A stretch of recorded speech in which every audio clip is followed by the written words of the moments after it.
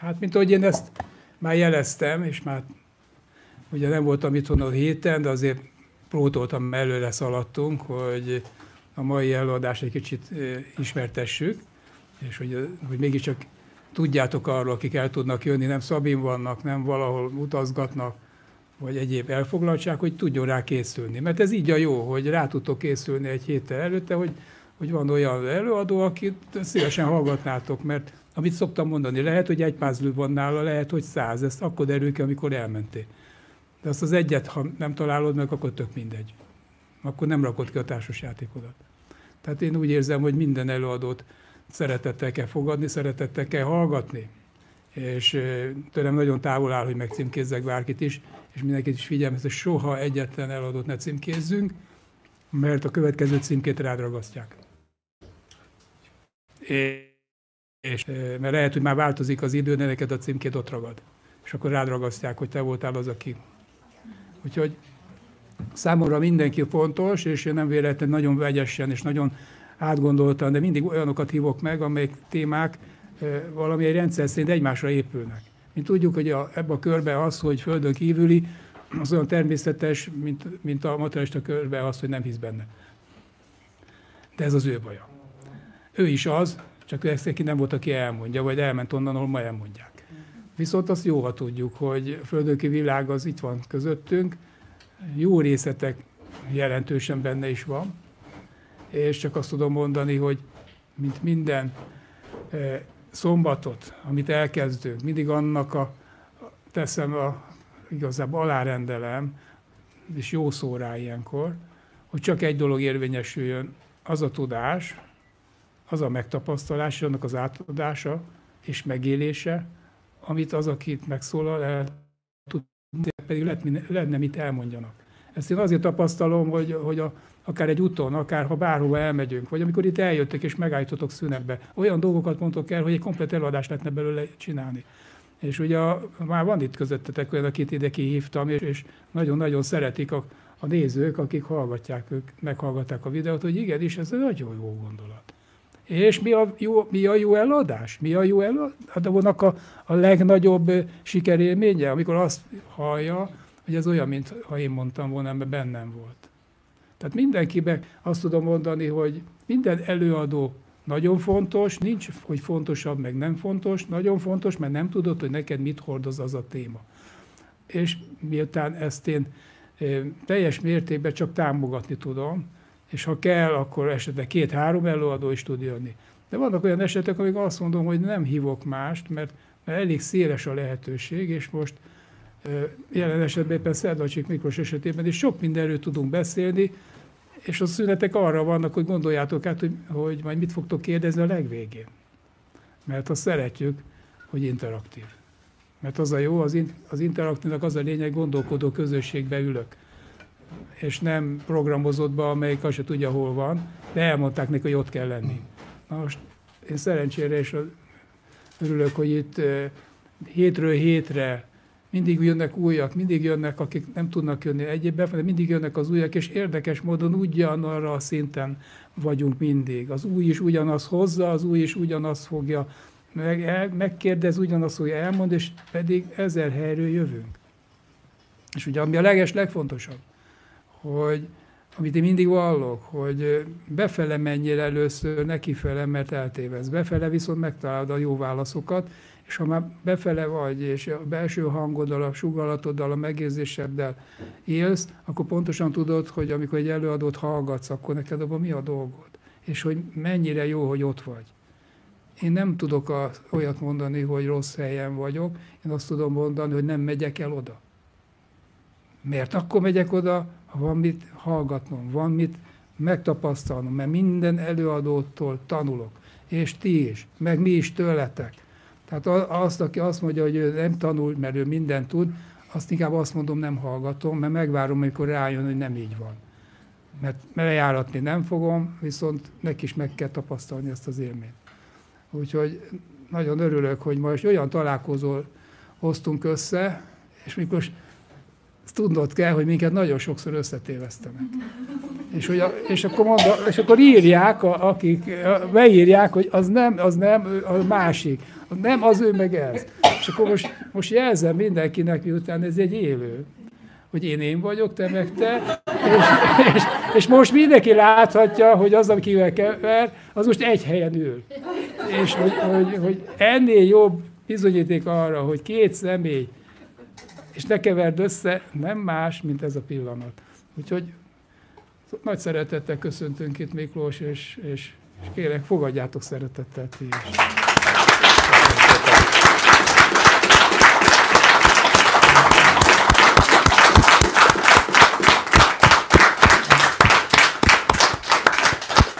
Még egyet, mielőtt elkezdeni a gondolatait elmondani.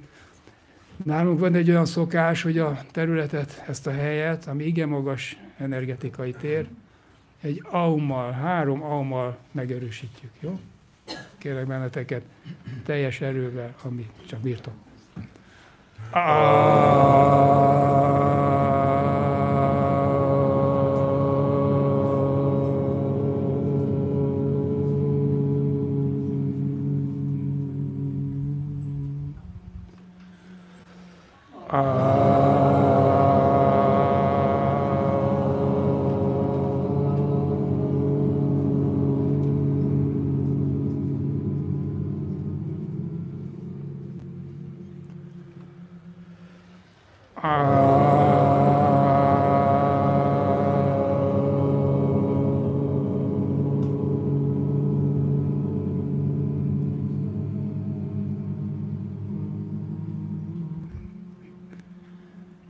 Miután ez megvolt, Miklós, tiéd a szó.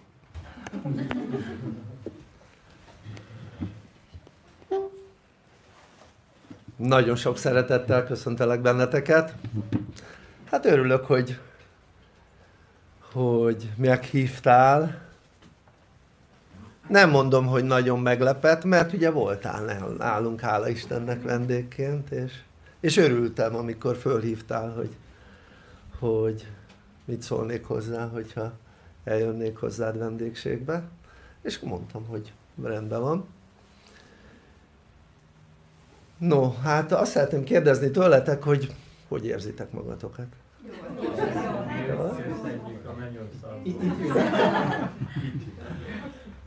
No, hát nem tudom mennyire láttok rá arra, hogy ugye mit csinálunk, hogy csináljuk. Egy, nem azt szeretném tartani, amit otthon szoktam tartani,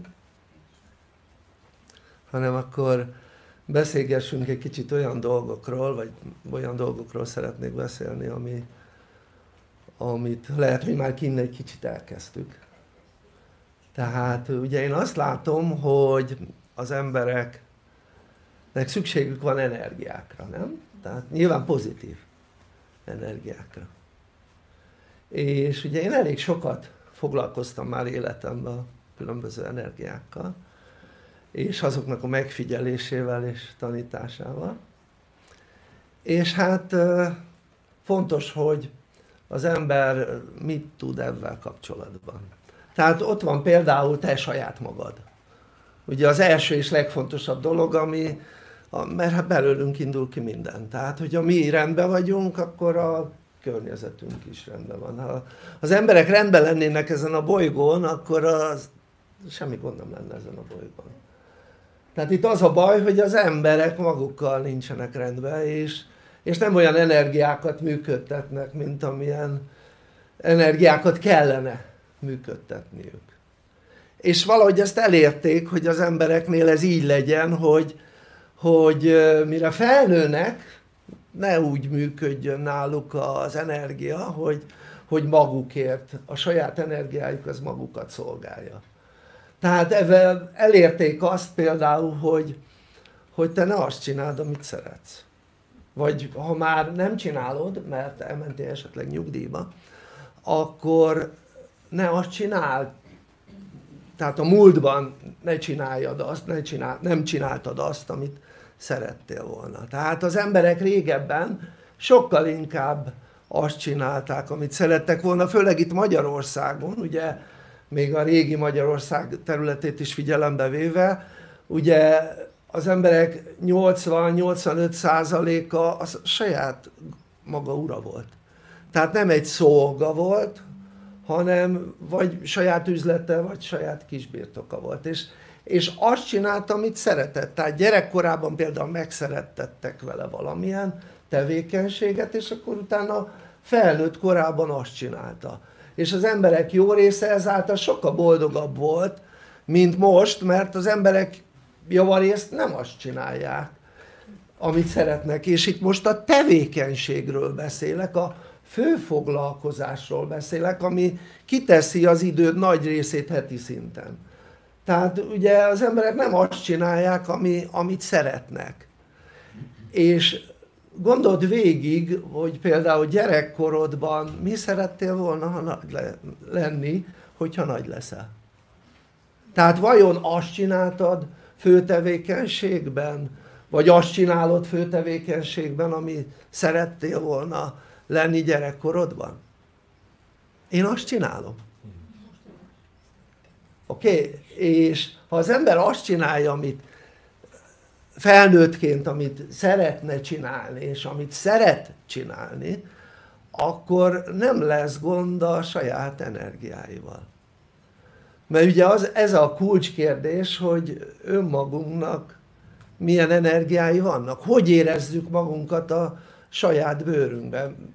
Bizonyára, most a Miklós megkérdezném, ő is azt mondaná, hogy azt csinálja, amit leginkább szeret. Oké? Okay? Tehát egy olyan ember, aki azt csinálja, amit leginkább szeret, akkor, akkor az életében a, a dolgok azok úgy alakulnak, ahogy szeretnék. Nem tudom, az életetekben voltak-e olyan dolgok, amit úgy alakultak, amit nem szerettél volna?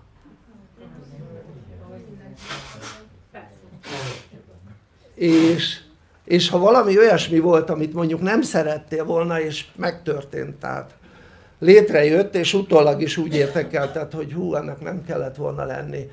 Esetleg később, nem tudom, rájöttél arra, hogy annak úgy kellett lenni, vagy, vagy még mindig azt mondod, hogy esetleg nem szeret, kellett volna annak létrejönni. De, meg kellett.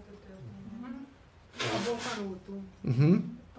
Tehát eh, ki az, aki úgy gondolja, hogy, hogy gyakorlatilag az életében, amik negatív dolgok történtek, utólag valamikor értékelve, annak úgy kellett lenni.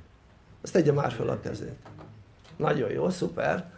Na most, eh, akkor gondold végig, ha mondjuk van egy problémád, akkor akkor miért problémázol azon a problémán? Mikor utólag úgyis úgy fogod értékelni, hogy, hogy annak meg kellett történni, nem?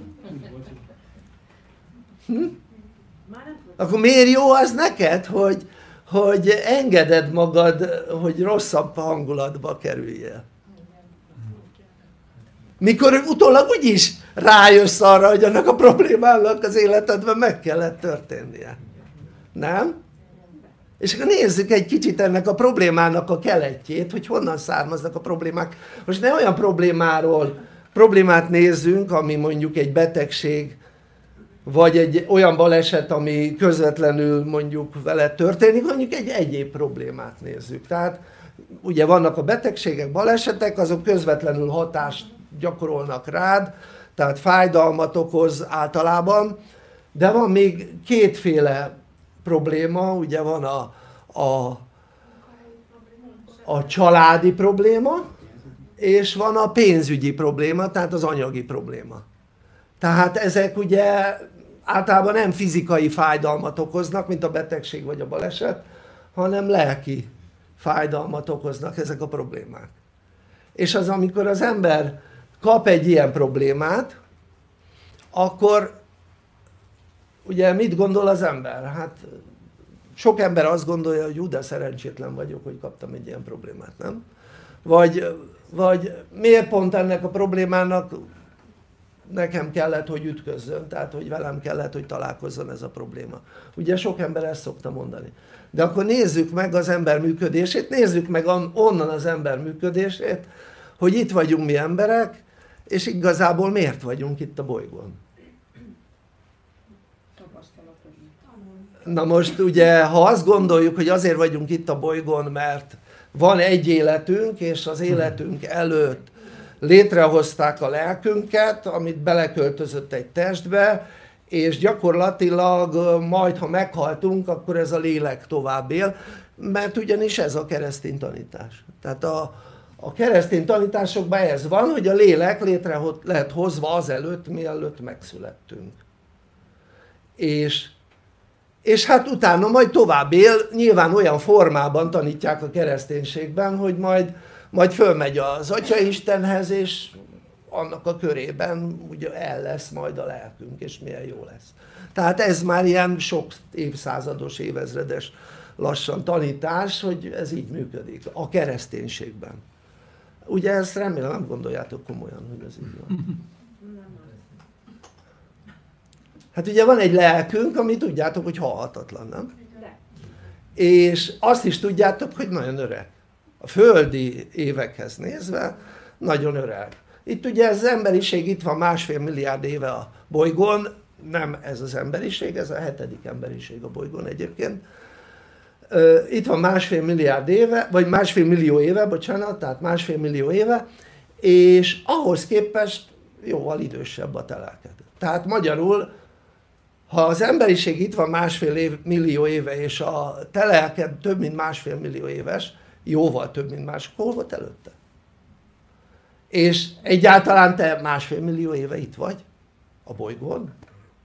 ugye ez, ez egy kérdés tehát akkor nézzük meg ugye itt vagyunk mi emberek és van két nagyon fontos részünk illetve három van de most beszéljünk a kettőről két nagyon fontos részünk van a testünk és van a lelkünk a testünk az halandó mulandó a lelkünk az meg halhatatlan és örök a testünk az érzékeny nagyon sok mindenre hőre tehát hogy hideg vagy meleg akkor mindenféle egyéb dolgokra érzékeny betegségekre stb. és van egy lelkünk amely gyakorlatilag képes arra hogy mondjuk átmenjen a napon érted? azt a hőt kibírja. És kutya baja lesz. Kibírja az űrt. Érted? ahol semmi nincs. Nem kell neki levegő, oxigén. Nem kell. Érted? nem kell táplálni, nem kell neki folyadék. Tehát itt van egy olyan lelkünk ami, ami egy energia, értelmes energia. Tehát egy értelmes energia és ami ezzel kapcsolatban nagyon fontos hogy ez az értelmes energia ez egy tőről fakad maga az az egy tő a teremtő volt nagyon érdekes mert így még ezt nem mondtam ki hogy teremtő egy tőről fakad érted? ott van benne hogy ő a tő, a teremtő a tő oké? Okay?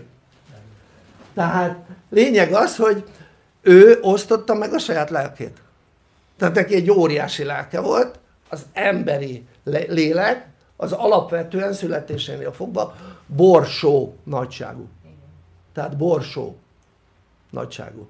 Tehát ő neki meg egy hatalmas lélek volt ami azt jelenti hogy gyakorlatilag akkora lelke volt mint maga a világegyetem. Érted? na abból megosztotta a saját lelkét. Egy borsonyit a világegyetemben. Kezdetben ez nagyobb volt de itt jellemzően az emberek jó részének ugye születésénél fogva ekkora lelke. Na most de azt tudod hogy a lelked az növelhető. Tudod mi révén nő a lelked?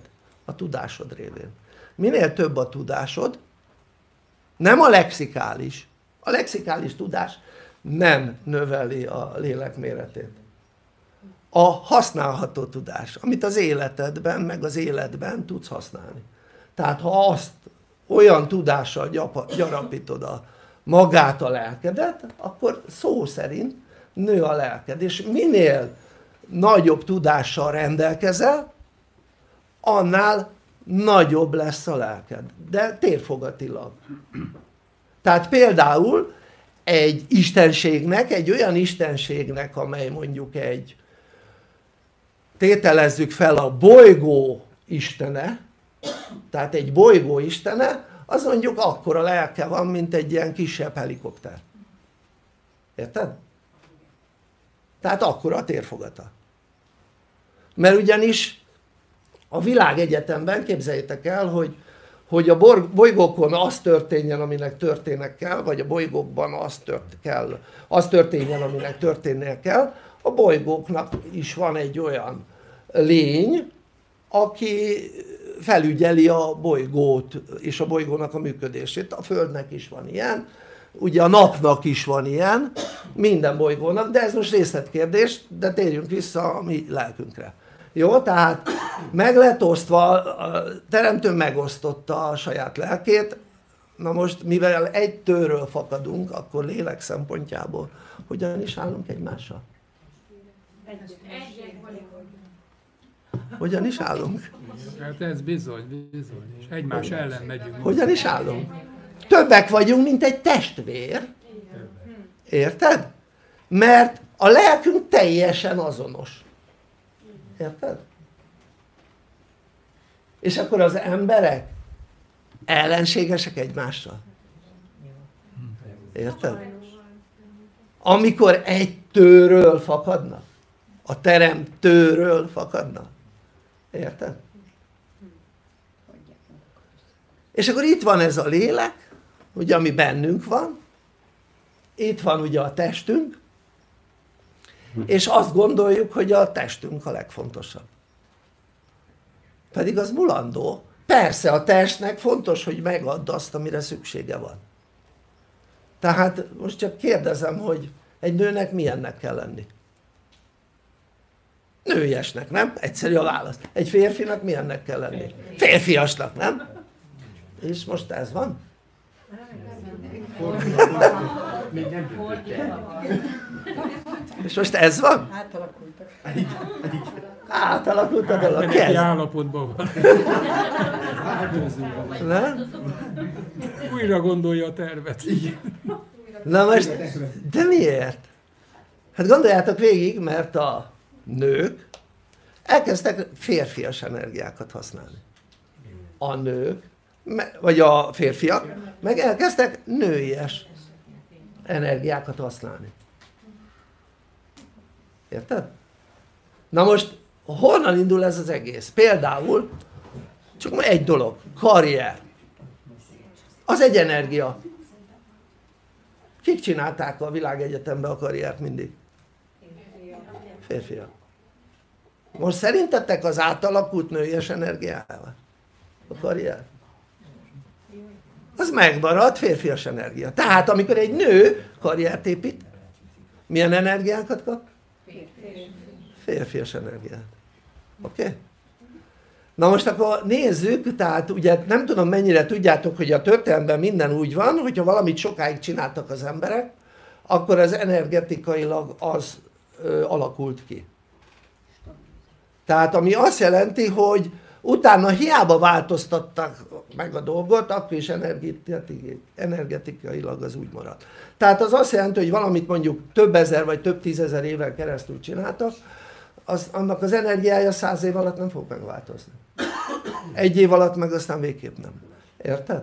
Tehát ahhoz nagyon sok időnek kellene eltenni, hogy energetikailag változás történjen. És itt van például ez a, az energia kérdés, a női-férfi energia. Például mondjuk megházasodsz, vagy megházasodtál, és az anyakönyvvezető az mire ösztökél téged? Ha nő vagy, akkor te legyél jobb oldalt. Ha férfi vagy, te legyél bal oldalt. És úgy vonuljatok be a házasság kötőterembe. Érted? És majd ut utána mindenütt úgy álljatok, hogy a nő az jobb oldalt, a férfi az bal oldalt.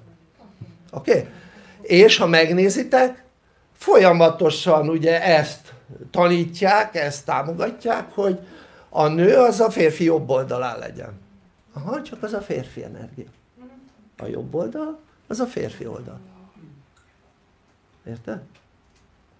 Ami azt jelenti, hogy Például, ugye a házaspárok együtt alszanak. Az azt jelenti, hogy ott sem mindegy, hogy melyik oldalon fekszik az egyik, melyik a másik. Tehát mit tudom olyan megfontolásban szokták megválasztani, megválogatni, hogy ki hol fekszik, hogy ki kell fel előbb, ki másszon át a másikon, vagy ki nem másszon át a másikon. Oké? Okay? Tehát és ebből a szempontból határozzák meg, de nem ebből a szempontból kellene. Hanem a bal oldalunk az a női oldalunk. Mindenkinek, a nőknek is, férfiaknak is egyaránt. A jobb oldalunk, a nőknek is, férfiaknak egyaránt, az a férfi oldal. A bal oldal egyben az érzelmi oldal. A jobb oldal az a külvilág. Oké? Okay? Egyben. Tehát a férfi képviseli a külvilágot, nem a nő. Oké? Okay? Tehát a férfias oldal, a jobb oldal, az a külvilág. Most mit csinálnak a férfiak? Bugozódnak. Bebugozódnak, érted? Visszahúzódnak. A nők mit csinálnak? Mennek a világ felé. Tehát jobb oldal. Értitek? Tehát akkor ugyanez az öltözködés. Szoknya. Milyen szoknya volt régen? Minden szoknya ilyen volt. Mit csinált? Földenergiát felengedte a nőknek. Érted? Ami azt jelenti, hogy a szoknya azt a célt szolgálta, mindenkinél ugye ez az ilyen, ilyen alakú gula alakú szoknya, ha jól nem tudom, tehát gula, az azt szolgálta, hogy az energia, a földenergia, tehát a női energia az a földenergia, a földenergia az felmenjen és még nőiesebb legyen az illető. És ők, a nők fölvették a férfi öltözködést, és a női energiákat, a földből származó női energiákat nem tudják úgy kapni, mint mikor szoknyát hordanak. Világos ez? Nyilván a szűk szoknya azért nem tölti be azt a célt, mint amit azok a szoknyák, ami, ami tényleg ezt az alakot használta, működtette. Szóval a lényeg az, hogy, hogy megfordultak az energiák. De miért? Mert maguk az emberek fordították meg. Nem tudom, tudjátok-e, hogy az volt az alap, mindig, hogy a férfiak, azok a hölgyek jobb oldalán voltak. Miért? Nagyon egyszerű, mutatom, ehhez fölállok. Tehát ami azt jelenti, hogy régen a férfiak bal kézzel kardoztak. Oké? Okay? És jobb kézben volt, jobb kéznél volt, itt jobb oldalt volt a hüvely. És a hüvelybe így tolták be a kardot. Oké? Okay? Nem tolhatta, tehát ö, nem lehetett ö, fordítva, érted? Tehát így volt. Most, most így van, oké? Okay? És az azt jelenti, hogy, hogy lényeg az, hogy amikor, ö, tehát ez kialakította azt, hogy hol van a hölgy. Tehát amikor ide beszúrta, nem lehetett neki itt a hölgy. Hát nem, hogy leszúrja. Érted? Tehát csak ezen az oldalon lehetett a hölgy. Oké, és év ezredeken keresztül emiatt, hogy a, a, a nők a bal oldalon voltak a férfiaknak, kialakult, hogy az a női energia. Emiatt alakult ki. Érted? Na most az, hogy mit tudom én mondjuk ezer éve elkezdték ezt megváltoztatni, mert körülbelül akkor kezdték el megváltoztatni, hogy jobb kézzel kardozzunk, és a hüvely az itt legyen, és oda tesszük a kartot, ezért a nőt áttesszük jobb oldalra, attól energetikailag semmi nem történt. Tehát most azért elmondanám, hogy amikor létrehozták ezt az emberiséget, akkor létrehoztak az emberiséghez energiákat a fentiek. Amelynek része volt ez, hogy a nők hova kerülnek? Bal oldalra a kardozás miatt. Nem buták azok a föntiek egyébként, tehát nagyon értelmes lények, sokkal értelmesebbek, mint mink, és ehhez hozzáalakították a női és férfi energiákat. Világos ez? De attól, hogy jobb kézzel kardozunk, mert a múltban mindenki bal kézzel kardozott, jobb kézzel kardozunk, sőt most már nem is kardozunk, mert már nem kardozunk, már egy jó ideje, már lövünk, érted? most már nem kell kard így van, az meg, az meg mindegy, hogy milyen kézzel lövünk, na szóval, és azt nem kell eldugni ide-oda, érted? Mert azt a hátunkra vesszük, onnantól kezdve miért ö, maradt ez így, hogy a nők legyenek jobb oldalt? Miért? Hát nagyon egyszerű, hogy a nők legyenek férfiasak. Miért? Miért? Mert miért születtél nőnek? Azért születtél nőnek, mert megtanuld az érzelmeidet használni. Ezért született minden nő nőnek, hogy megtanulja az érzelmeit használni. Miért született valaki férfinak? Hogy megtanulja az eszét használni. Tehát ezt a legtöbb férfi nem csinálja. Szóval lényeg az, hogy, hogy szó szerint ezért születtek a férfiak férfinak, hogy megtanulják az eszüket használni.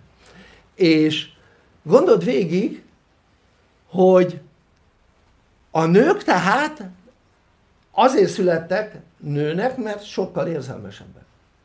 Érthető ez? Na most, de ha valaki érzelmesebb, akkor az érzelmei alapján, az érzelmeire hatva könnyebben lehet befolyásolni. És rájöttek arra, hogy a, ezáltal nőket könnyebb befolyásolni, mint a férfiakat. Oké? Okay? És ha a nők férfiasabbak, akkor a nőkön keresztül könnyebb elérni dolgokat. Mert ugye hogy működik egy család? Egy család úgy működik, hogy a család jó működése, a férfi-nő jó működése az 70%-ban a nőtől függ. És mindössze 30%-ban függ a férfitől. Ami azt jelenti, hogy ha a nő valamit kitalál, és szeretné, hogy a párja azt megvalósítsa, akkor ha ezt jól csinálja, akkor ezt el tudja érni. Hogy kell jól csinálni? Szeretettel. Szeretettel. Ha szeretettel jól csinálja, akkor a férfi megcsinálja. Na most ezáltal, mivel ugye a, a nők érzelmesebbek, befolyásolhatóbbak, ezáltal a fogyasztói társadalom, ami ugye száz éve lett elkezdve kitalálva, Amerikában el, elindítva, száz éve lett elindítva, hát ez a száz év azt jelenti, hogy a nőkön keresztül jobban el lehetett adni dolgokat, elérni dolgokat, amit éppen akartak. Oké? Okay? És ugye ehhez az kell, hát hogy a nő az ne nőies legyen, hanem a férfias, a férfi meg legyen inkább nőies. Na most így megkutyulva ezt az egészet, hát ha megnézitek a világban, nagyon sok mindent elértek az emberek rovására. Tehát azt, hogy például az emberek 70%-a elváljon. Érted? Tehát ami annyit jelent, hogy, hogy a fogyasztói társadalmat segítő dolgok azok, hogy az emberek nem a helyükön vannak. Érted? Nem a helyükön. Tehát ha egy családot például egy hölgy vezet, tehát mondjuk övé alapvetően az utolsó szó, maradjunk ennyiben, jó? Akkor ebből lesz egy következmény. Ugye akik nálunk tanulnak azok tudják, hogy a minden olyan családban, ahol a hölgy az erősebb, és ott van egy fiú meg egy lány, gyerek, gyerekről beszélek, tehát egy ilyen családban nő fel, akkor a fiú az gyenge lesz, és a lány pedig erős. Az azt jelenti, hogy ennek pont fordítva kéne lenni. Tehát a lánynak kellene gyengébbnek lenni, és a férfinak erősnek kellene lenni. De ez nem így van, ha egy női vezetett, nő által vezetett családról beszélünk, ott mindig a fiú az felnőttként gyenge lesz és keres majd egy nálán erősebb férjet feleséget? bocsánat, már férjet is minden. Jó tehát feleséget így van. És fordítva pedig ha egy kislány nő fel egy ilyen családba akkor pedig talál egy olyan párt aki nálana jóval gyengébb lesz majd felnőttként. Tehát felnőttként találja ezt. Ami azt jelenti hogy kialakul egy ellentétes energia. Na most csak van egy gond hogy a nő a család motorja. Érted? tehát az az összetartó erő tehát a nő. Tehát ez szó szerint ugye ha autót nézzük akkor a nő a motor. Érted? a férfi a karosszéria. Ha a karosszéria ütött kopott de a motor jó az az autó jár. Érted? és megy. Közlekedsz vele de ha rossz a motor egy kicsit is akármilyen csili a karosszéria az autó meg sem mozdul, érted? max ha vontatják jó? tehát lényeg az hogy a nő a motor a párkapcsolatban ha a nő jól működik de hogy működjön jól a nő ha mondjuk karriert épít, már pedig vagy karrier vagy család a kettő együtt nem megy érted? Tehát vagy karriert épít egy nőt vagy tönkrevágja a családját, érted? ha karriert épít vagy ha családot akar akkor ne építsen karriert érted? tehát a kettő együtt nem tud menni és ezzel elérik azt hogy a nők ne legyenek boldogok pedig a nő a meghatározó a családban ha a nő jó állapotban van akkor biztos hogy a család is jó állapotban van. Ha a nő balhés hát akkor a család is menekül. Érted? ez tuti, ugye ezt nem kell mondanom, ez biztos hogy tapasztaljátok. Szóval a lényeg az hogy a nő hangulat az meghatározó. Tehát az, a, az lenne a fontos hogy a nők jó állapotban legyenek de a nők nem a saját életüket élik hanem a férfiak életét élik ők abban nem tudnak boldogok lenni tehát a karrier az nem hozza meg a nőknek a boldogságot érted? tehát az elismerést a nőknek nem a karrierben kell megszerezniük és ha a nők a karrierben akarják megszerezni akkor a háttért lebontják oké? Okay? tönkre megy a háttér sajnos. És ezáltal ugye problémák lesznek az energiákban és mondjuk van egy karrierista nő akinek van egy férje. Hát most gondold végig hogy fogja azt támogatni a férjét hogy ő karriert érjen el a férje mikor maga a nő a karrierista. Érted? és ő akar karriert elérni. Tehát akkor milyen férje lesz? Hát egy férfi úgy működik ha van egy jó felesége vagy egy jó élettársa barátnő akkor az a barátnő motiválja a párját, érted? a férjét motiválja ami azt jelenti hogy mondja neki hogy csináld, ügyes vagy, meg tudod csinálni, bíztatja stb. stb. és ezáltal ugye a férfi az fog teljesíteni, eredményeket fog elérni az életében. És a nő ugye pedig